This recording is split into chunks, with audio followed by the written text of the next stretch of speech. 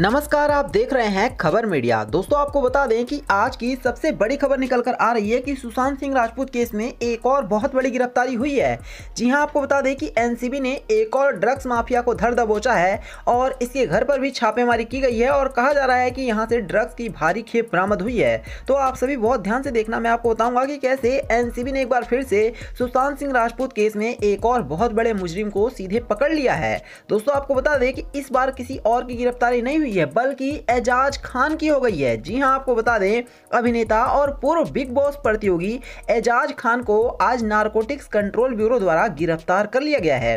एक दिन पहले उन्हें उनके मुंबई स्थित घर पर प्रतिबंधित दवाओं के बारे में पूछताछ के लिए हिरासत में लिया गया था। राजस्थान से आने पर उन्हें कल मुंबई हवाई अड्डे से हिरासत में ले लिया गया था। एजेंसी ने कहा है कि उसे शहर के अंधेरी और लोखंड वाला इलाके में तलाशी के दौरान उसके घर पर अल्पार जोलम की गोलियाँ मिली थी। एनसीबी ने कहा है कि एजाज खान नशीले पदार्थ की सप्लाई करने वाला सादाब फारूक शेख उर्फ़ सादाब बटाटा के सिंडिकेट का हिस्सा भी है। शेख को पिछले गुरुवार को गिरफ़्तार किया गया था और उसके पास से दो किलोग्राम से अधिक प्रतिबंधित मैफेड्रोन ड्रग्स बरामद की गई थी। आप देख रहे हैं, दो किलोग्राम से भी ज़्यादा। आप समझ सकते हैं कि कितना बड़ा ड्रग माफिया है। आपको बता दें, बटाटा द्वारा किए गए खुलासे के बाद एजेंसी ने एजाज खान को एनसीबी मुंबई कार्यालय में पूछताछ के लिए बुलाया था।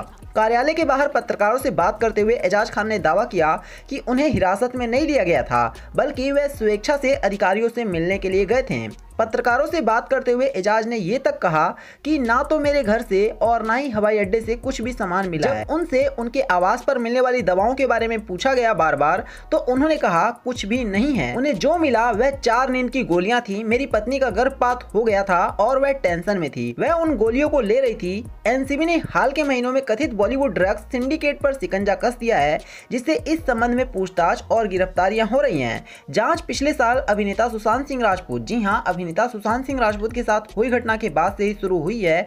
इस चरण के दौरान एनसीबी द्वारा दीपिका पादुकोण, अर्जुन रामपाल, श्रद्धा कपूर और सरा अली खान सहित कई फिल्मी स्टार्स अब तक इनसे पूछताछ हो चुकी है। एजेंसी ने अवैध ड्रग्स रखने के आरोप में हाल के दिनों में कई विदेशी नागरिकों को भी गिरफ़्तार किया है। उदाहरण के लिए सोमवार को उसने एक नाइजीरिया नागरिक को पकड़ लिया है और नवी मुंबई क्षेत्र से 200 ग्राम मैफेड्रोन बरामद किया गया है। तो आप देख रहे हैं कि आज एजाज खान की गिरफ्तारी हो गई है। एजाज खान काफ़ी ज़्यादा बचता फिर रहा था। और जब तमाम मीडिया एंकर्स ने इससे पूछने की कोशिश की तो इसने तो साफ़ साफ़ इनकार कर दिया कि इसके घर पर कुछ भी नहीं मिला है। और इतना ही नहीं, इसने ये कह दिया कि वो खुद एनसीबी से मिलने के लिए गया है। एनसीबी ने उसे कोई समन नहीं भेजा। लेकिन अब समझ में आ रहा है कि इसकी गिरफ्तारी हो चुकी है और बहुत जल्द आप देखेंगे कि इसको सजा भी सुनाया जाएगा और निश्चित तौर पर इसके घर से एनसीबी को कुछ ना कुछ ड्रग्स की बड़ी मात्रा मिली होगी, क्योंकि इसके घर पर भी छापामारी की गई थी, इसके कार्यालय पर छापामारी की गई है।